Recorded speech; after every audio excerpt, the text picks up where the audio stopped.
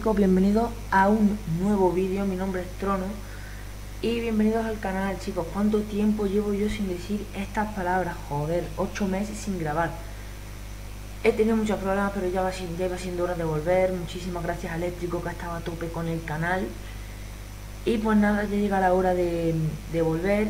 Y de qué forma chicos, vamos a, a continuar con la serie, una serie que llevaba tiempo, llevamos tiempo sin subir explorando Windows. En el episodio de hoy se va a tratar de Windows Server 2008, chicos.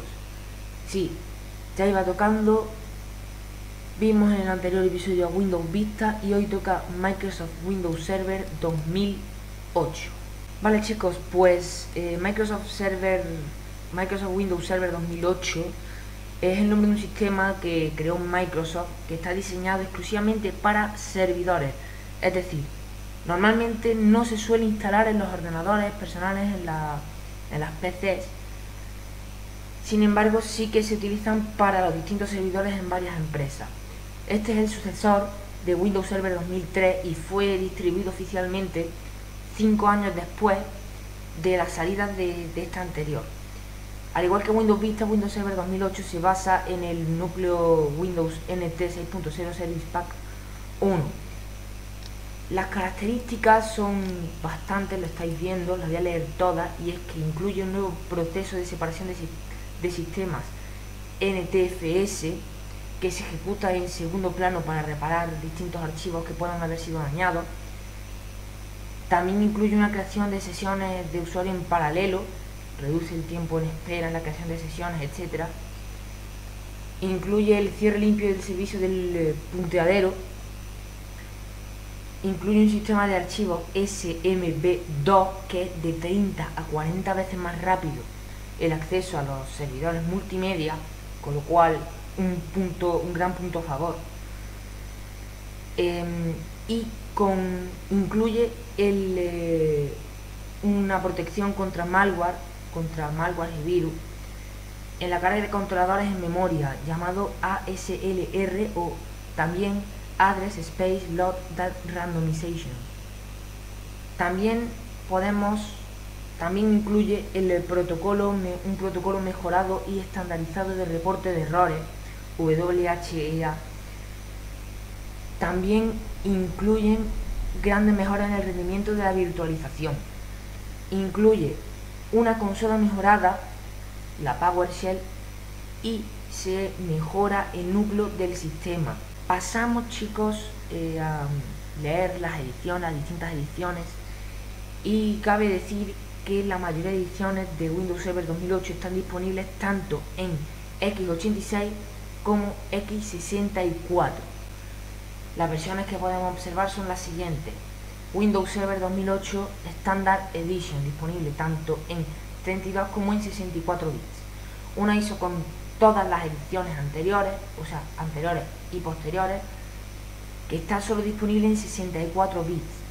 También podemos destacar Windows Server 2008 Enterprise Edition, disponible en 32 y 64 bits, Windows Server 2008 Data Center Edition, X, de nuevo X86 y X64, Windows HPC Server 2008, el cual reemplaza Windows Compute Cluster Server 2003, Windows Storage Server 2008 de almacenamiento que está disponible en 32 y en 64 bits, Windows Small Business Server 2008 disponible también en x64 y x86 diseñado para pequeñas empresas, Windows Essential Business Server 2008 para empresas de tamaño medio, también está en x64 y x86 y Windows Server 2008 exclusivo basado para sistemas basados en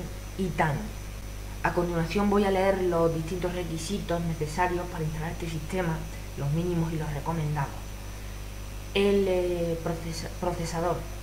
Eh, necesitamos como mínimo para 32 bits un procesador de 1 GHz, si no, no podemos correr este sistema. Y en el sistema, en su versión de 64 bits, 1.4 GHz, aunque es recomendado, aunque son recomendados 2 GHz o más. Memoria RAM. Necesitamos mínimo 512 MB de RAM, aunque podrían em, limitarse ciertas características, podría haberse comprometido el rendimiento del, del sistema. Se recomienda tener 2 GB de RAM o más, teniendo en cuenta, hay que tener muy en cuenta que la memoria máxima que se admite, que este, que este sistema, que, que este sistema admite, hay que tener en cuenta que aunque la memoria recomendada sea 2 GB de RAM o más, la memoria máxima que este sistema operativo admite en su versión de 32 bits, en su edición estándar es de 4 GB de RAM. En, su en sus ediciones Enterprise y Data Center admite 64 GB de RAM. En eh, su versión de 64 bits, la edición estándar admite 32 GB de RAM y las ediciones Enterprise, Data Center y la edición exclusiva basada en sistemas basados en Titanium 2 terabytes de memoria RAM. Ya quisiera yo tener tanta memoria.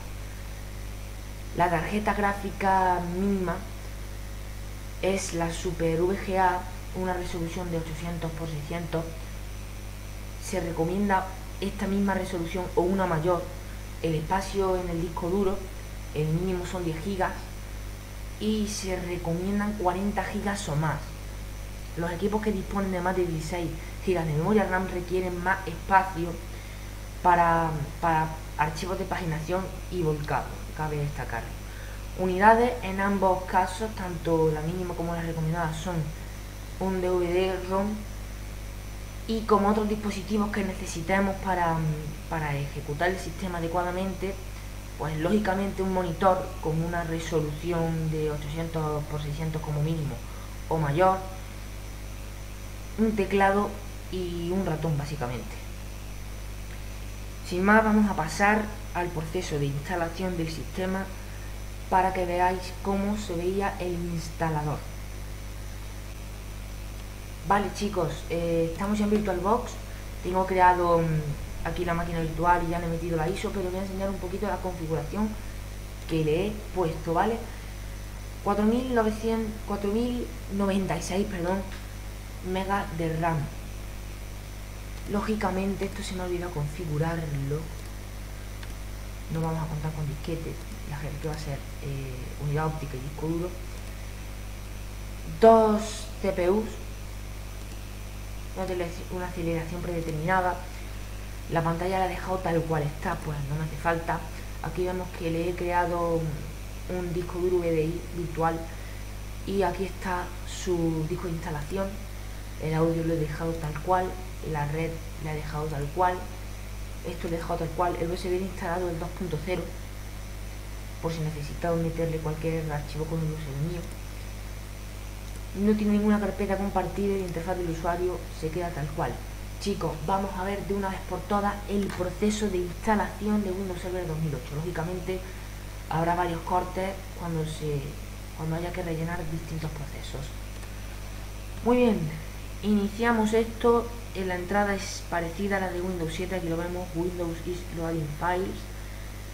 Pero el primer gran cambio, el primer gran distintivo con Windows 7, la instalación de Windows 7, que es el sistema posterior a este, es el color en la interfaz de instalación.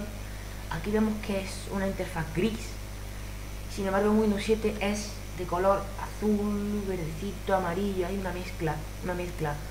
Bueno, yo voy a dejar todo en español, en España, español, y vamos a seleccionar instalar ahora. Como vemos, lo que decía la interfaz es completamente gris.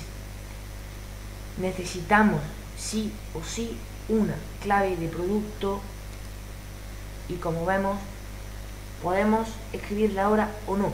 Yo en mi caso, lógicamente, no voy a escribir la clave de producto de momento. Aquí está, nos saltamos este proceso. Pequeño momento me está cargando, un pequeñito corte Vale chicos, ya me saltó de la pantalla anterior, de la del serial. Y bueno, podemos seleccionar la instalación completa de alguna de, de estas tres ediciones o solo o tan solo podemos seleccionar el núcleo del sistema. Yo en mi caso voy a mm, seleccionar la instalación completa de Windows Server 2008 Enterprise. Tenemos que seleccionar esto y tenemos que dar a siguiente, lógicamente, igual que las instalaciones normales de Windows 7. Tenemos que darle aquí, le damos acá. Muy bien, seleccionamos esta misma. Y la instalación por lo demás es exactamente igual, hasta este momento ha sido igual que en Windows 7, chicos. Voy a hacer un pequeño corte, ¿vale? Vosotros no vais a dar cuenta de nada y en cuanto esté este proceso terminado, volveremos a seguir viendo el proceso de instalación, chicos. Y vale, chicos, pues aquí tendríamos el escritorio de Windows Server 2008.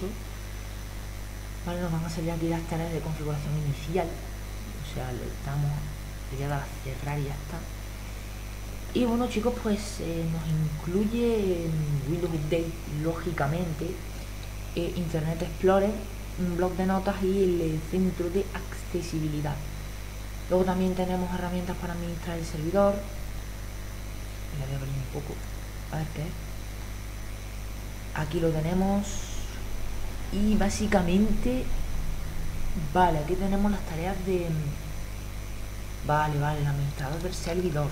Si tenemos un servidor, básicamente aquí es como donde se administra. O al menos se administraba cuando salió este sistema. Funciones, características, diagnóstico. Mira, diagnóstico es muy... Si funciona, claro. Interesante. Vale, sí.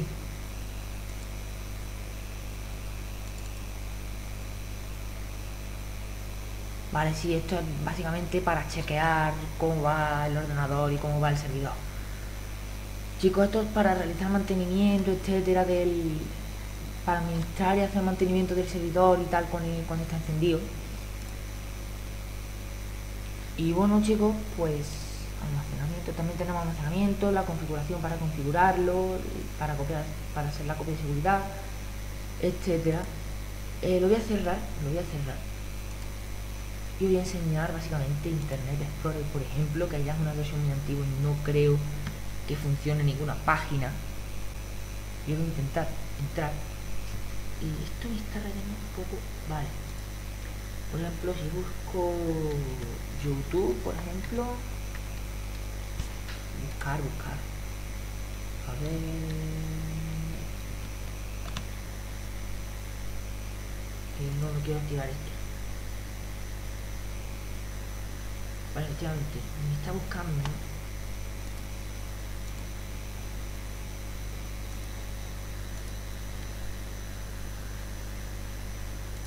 Vale, voy a darle a no volver a montar.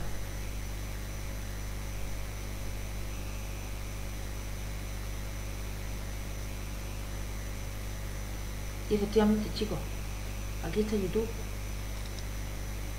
Voy a intentar poner bueno, sí, sí, sí, chicos, aquí está YouTube, aquí está YouTube. a ver, se ve muy mal. O sea, no se ve bien, no sé por qué no se ve bien. Cómo se tiene que ver la página de YouTube. Pero YouTube está aquí, chicos. Lo que, lo que pasa es que no funciona adecuadamente. A ver si busco alguna otra página. En plan, por ejemplo, vamos a intentar buscar Wikipedia, por ejemplo. A ver si se funciona adecuadamente. sí. Mira, Wikipedia, por ejemplo, sí que funciona bien. Wikipedia funciona perfectamente en este, en este Explorer. Sí, funciona perfectamente, chicos. Eh, cualquier otra página, pues yo qué sé, mm, por ejemplo, voy a volver a intentar entrar en YouTube a ver si es un bugueo. Lo, escribo mal. A ver si ha sido un pequeño bugueo. Intentarlo eh, vale, entramos, a ver si funciona bien. adelante, vale, no, no, no, pues YouTube no funciona bien, ¿eh? YouTube no funciona adecuadamente en, esta versión de Internet Explorer. A ver, yo a ver si puedo buscar el canal.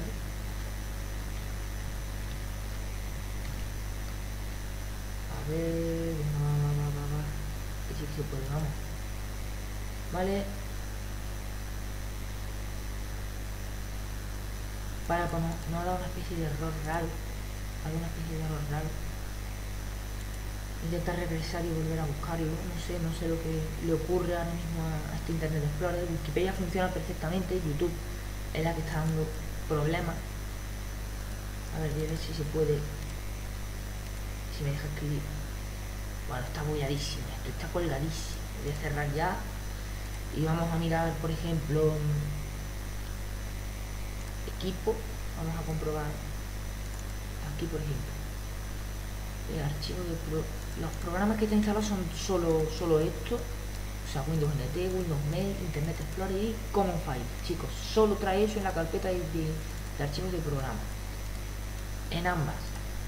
En la de en ambas, en la X64 y la X86 usuario, pues bueno, estará nuestro usuario creado tan solo. Eh, aquí no habrá nada. Y aquí está ya la carpeta de Windows, que tampoco es que haya nada así súper interesante que ver aquí realmente. El Regedit, pero el Regedit está igual que en la mayoría de sistemas. Aquí tenemos System 32. A ver, voy a bichar un poco lo que hay por aquí. Si bajamos mucho. Nunca he mirado en Windows Server de esto lo que hay en System 32. Creo que solo lo miré para el vídeo de Windows Server 2003. Y pues no hay nada, chicos, o sea, no hay nada así fuera del, del otro mundo. Advanced Installers. Pero nada, son archivos de LL, chicos.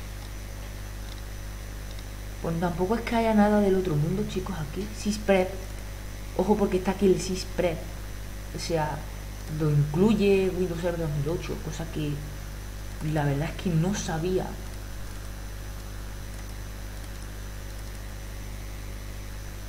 y trae un directorio que se llama Bluetooth. No entiendo por qué trae un. Bueno, da igual. Sí, chicos, que básicamente trae el Sysprep, yo no lo sabía, he entrado aquí en System 32. Voy a, voy a entrar en System. Y no hay nada en System, ojo. No tenía ni idea de eso. Bueno, voy a dejar de echar por aquí porque al final me lo cargo algo. Y tampoco lo quiero. No sé. Vale, está vacía la carpeta. Bueno, pues chicos, podemos comprobar también aquí en panel de control un poquito como ver el panel de control muy al estilo Windows XP, Windows 2000